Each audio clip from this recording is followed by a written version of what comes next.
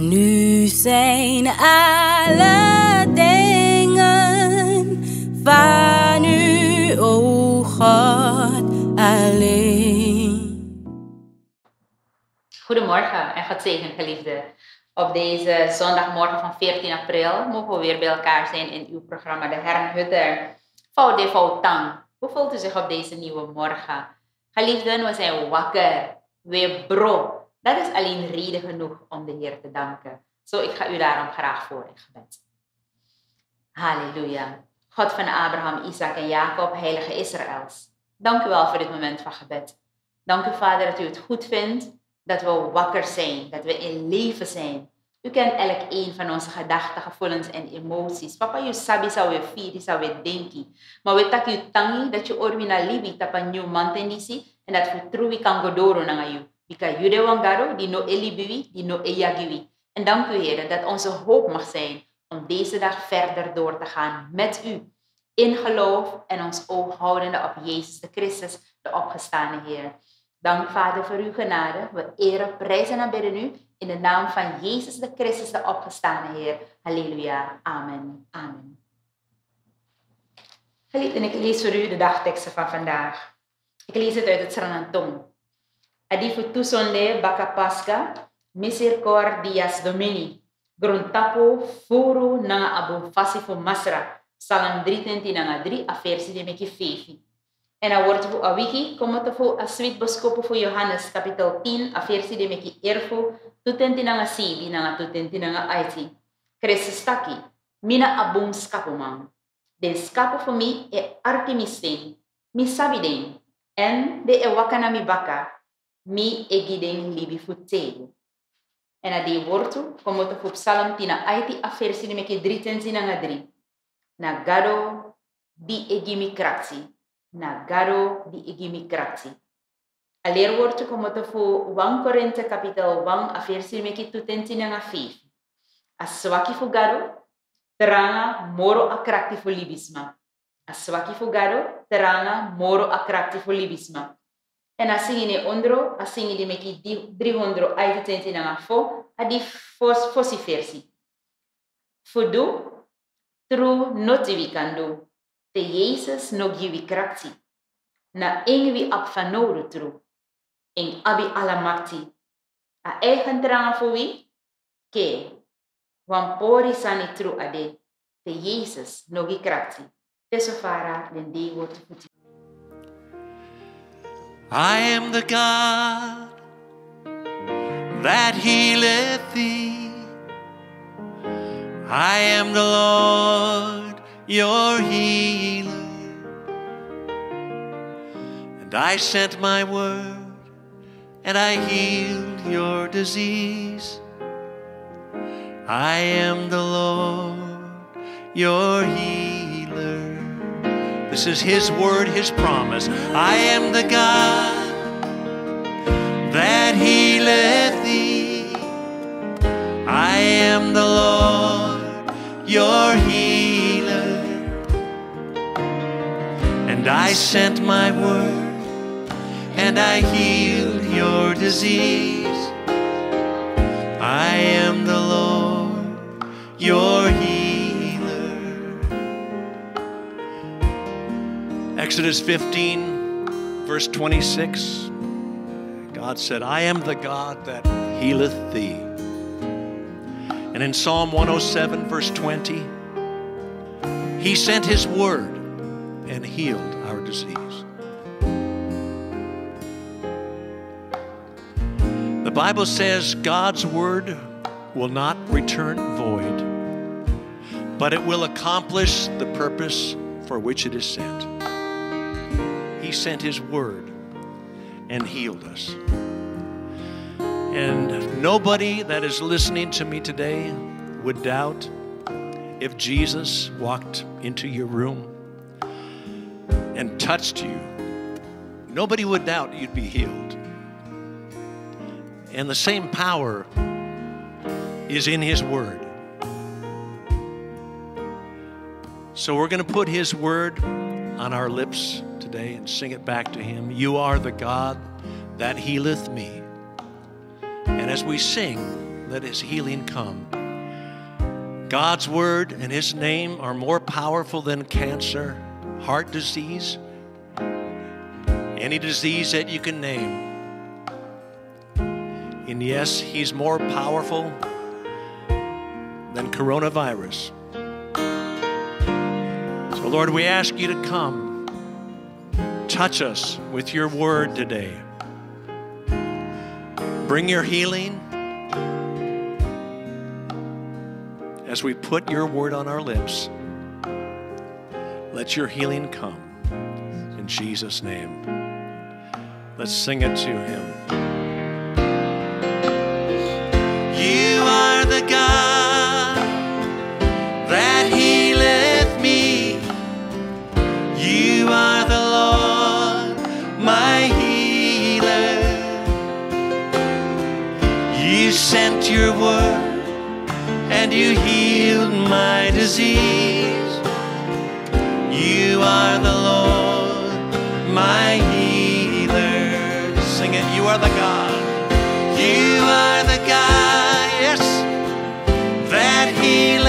Me. You are the Lord, my healer. You sent your word. You sent your word and you healed my disease. You are the Lord, my healer. You sent your word, you sent your word, and you healed my disease.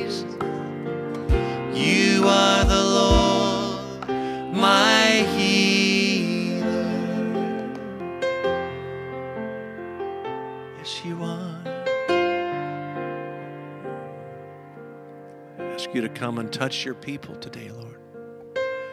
Be healed in the name of Jesus. Geliefden, we hebben al spreekgedeelte vandaag gekregen. Genesis 6 16, vers 1 tot en met 16. En dat zal ik ook aan u voorlezen op, op basis waarvan deze bemoediging voor deze morgen zal zijn. Hagars vlucht voor Sarai. Sarai nu, de vrouw van Abraham, schonk hem geen kinderen en zij had een Egyptische slavin, wier naam was Hagar. En Sarai zeide tot Abraham, zie toch, de Heer heeft mij niet vergund te baren. Ga toch tot mijn slavin. Misschien zal ik uit haar gebouwd worden. En Abraham luisterde naar Sarai. En Sarai, de vrouw van Abraham, nam Hagar, de Egyptische, haar slavin, nadat Abraham tien jaar in het land Canaan gewoond had, en gaf haar aan haar man Abraham tot vrouw. En hij ging tot Hagar en zij werd zwanger. Toen zij zag dat zij zwanger geworden was, was haar meesteres verachtelijk in haar ogen. Toen zeide Sarai tot Abraham, de krenking mij aangedaan, komt voor uw rekening. Ik heb mijn slavin in uw schoot gegeven. En nu zij ziet dat zij zwanger geworden is, ben ik verachtelijk in haar ogen. De Heere doet recht tussen mij en u. En Abraham zeide tot Sarai, zie, uw slavin is in uw macht. Doe met haar wat goed is in uw ogen. Toen vernederde Sarai haar en zij vluchtte van haar weg. En de engel des Heren trof haar aan bij een waterbron in de woestijn, bij de bron aan de weg naar Zeur. En hij zeide, Hagar, slavin van Sarai, van waar komt gij en waarheen gaat gij? En ze zeide, ik ben op de vlucht voor mijn meester Sarai. En de engel des Heren zeide tot haar, keer naar uw meesteres terug en verneder u onder haar hand. En de engel des Heren zeide tot haar, ik zal uw nageslacht zeer talrijk maken, zodat het vanwege de menigte niet geteld kan worden. Voort zeide de engel des Heren tot haar, zie, gij zijt zwanger, en gij zult een zoon baren en hem Ismaël noemen, want de Heere heeft naar uw ellende gehoord. Hij zal een wilde ezel van een mens zijn, zijn hand tegen allen zijn en de hand van allen tegen hem. En hij zal ten aanschouwen van zijn broederen wonen. Toen noemde zij de naam des Heren, die tot haar gesproken had. Gij zijt een God des aanziens. Want, zeide zij, heb ik hier ook omgezien naar hem, die naar mij ziet? Daarom noemde men die put de put Lachai Roy, Zie, hij is tussen Kades en Beret. En Hagar baarde Abraham een zoon. En Abraham noemde de zoon die Hagar gebaard had Ismaël. En Abraham was 86 jaar oud toen Hagar Ismaël aan Abraham baarde. Tot zover deze schriftlezing. Laat ons bidden. Heilige Israël, Heer der Heerscharen, dank u wel dat we rondom uw woord vergaderd zijn. En dat we van u verlicht verstand en geopende ogen mogen krijgen om uw woord te verstaan. We bidden dat in Jezus' naam. Halleluja. Amen. Amen. Geliefden, we lezen Gods woord. En zoals we net gelezen hebben, zalig en ieder die naar Gods woord, die Gods woord leest, het bestudeert en daarnaar tracht te leven. Hagar vlucht voor, vlucht. Abraham en Sarai, een koppel waarbij Abraham van God de belofte krijgt van luister, je zal talrijk worden. Je nageslacht zal talrijk zijn. Abraham kende God niet, maar God naderde hem persoonlijk. God daalde neer persoonlijk naar hem en gaf hem de belofte met de opdracht dat hij uit het land moest vertrekken naar een onbekend deel. En Abraham koos ervoor om te luisteren naar deze God die hij pas ontmoet had. Hij, in gehoorzaamheid ging hij vanuit zijn stad, waar eigenlijk alles in orde was, en hij ging naar een onbekend gebied. In geloof stapte hij en in geloof ging hij verder. Nu, die zoon is beloofd aan hem. En dan komt er geen zoon. Er is een belofte en je zal denken elke keer van waar blijft die zwangerschap uit? Ongeduldig wordt Sarah. Kunt u dat een beetje begrijpen? Hmm, wij zijn soms ook ongeduldig, ja. En dan komt Sarah met een plan. Van luister, Me no sapchiere. Dus Abraham, hier. Ik heb een slavin. Wil je haar tot vrouw nemen? Kan de ashendi etikmi asakaba. Zodat er toch een kind is in dit gezin. En Abraham is eens. Abraham is eens.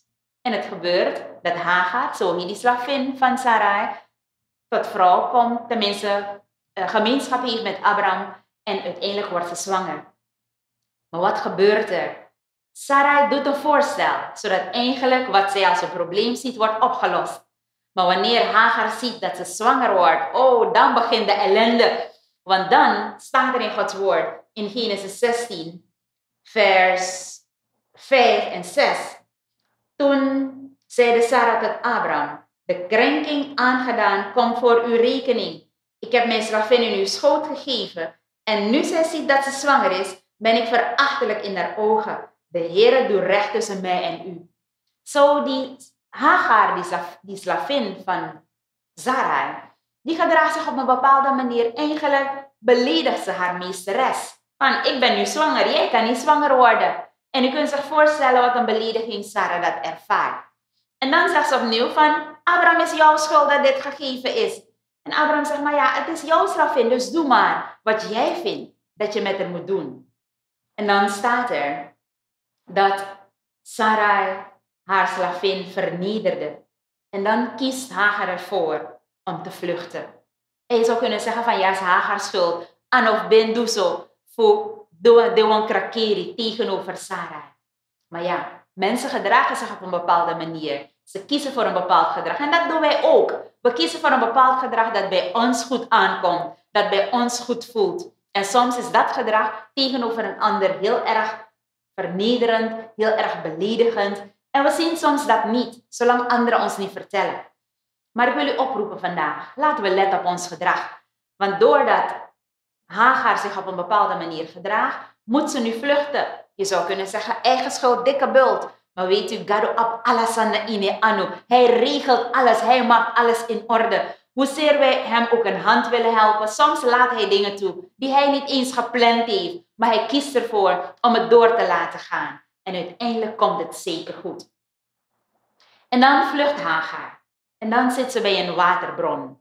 Helemaal teleurgesteld natuurlijk, want ze is aan het vluchten. Je hebt geen plaats om te gaan en van waar je komt wil je eigenlijk niet terugkomen. Maar dan, dan komt de engel des Heren. Die dan zegt van luister, wat doe je hier? Seipsa, fayas don ja.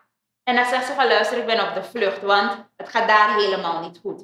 En die engel des Heren geeft haar een opdracht. Geliefde, zou u dat wel doen, deze opdracht die volgt? Hij zegt van luister, ga terug naar je meesteres en verneder je daar.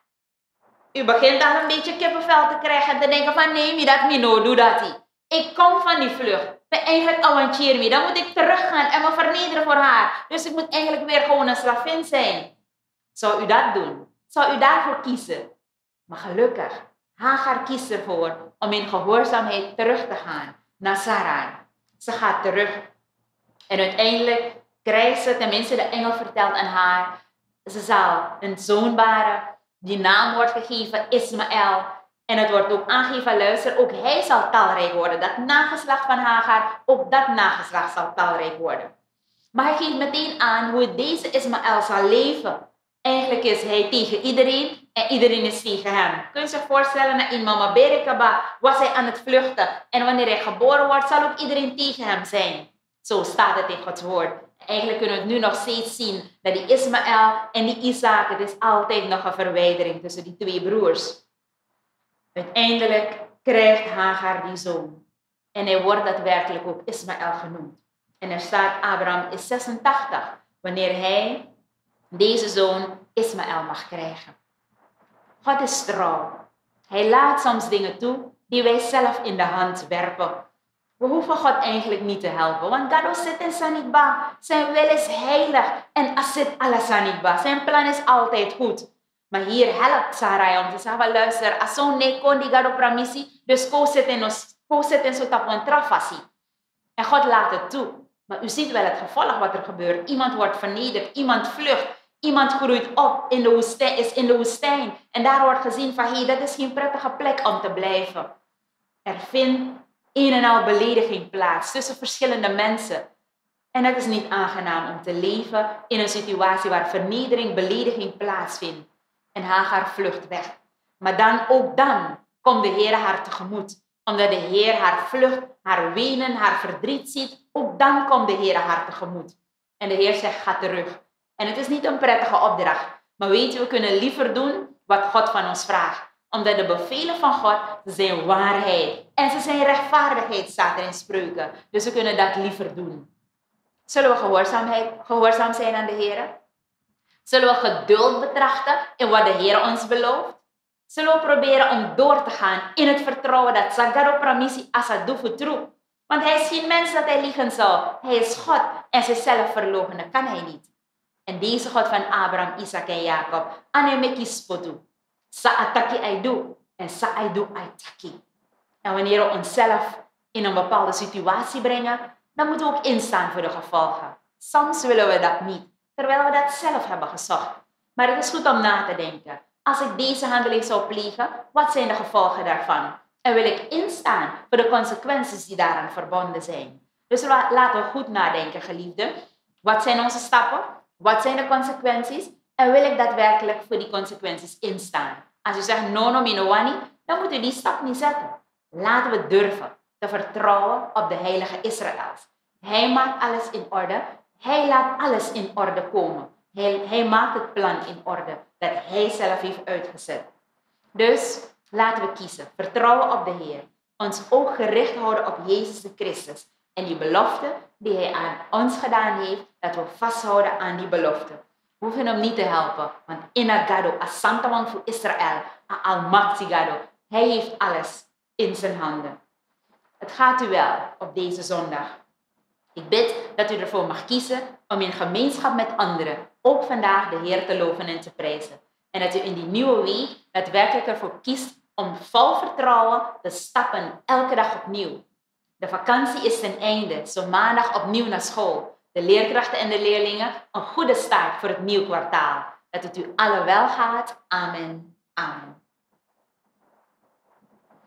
Ik zal u voorgaan in gebed. Laat ons bidden. Santa Wang voor Israël.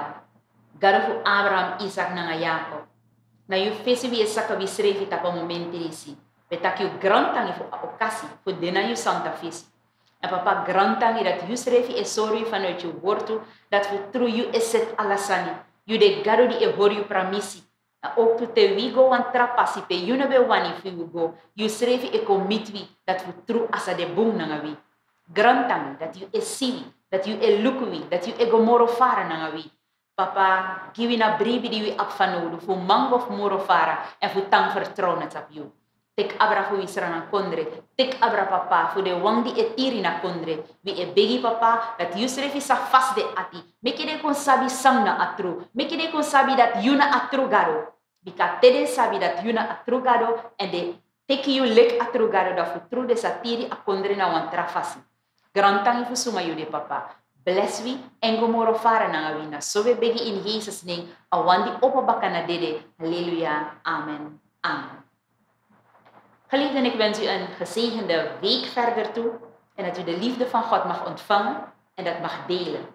En blijft u bewust daarvan dat de God die naar u ziet, dat Hij Heer is, dat Hij getrouw is. Amen. Amen.